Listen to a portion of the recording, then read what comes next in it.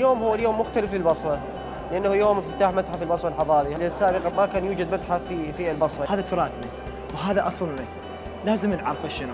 لأن إحنا من راح نعرف تراثنا من المؤكد راح نفتخر به.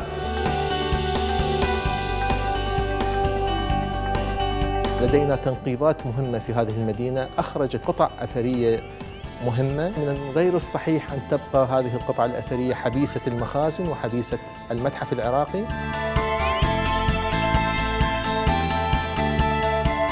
اختيار المكان أيضا كان مقصودا ليعطي دليل على انتصار الحضارة والثقافة والإنسانية على الدكتاتورية والإجرام.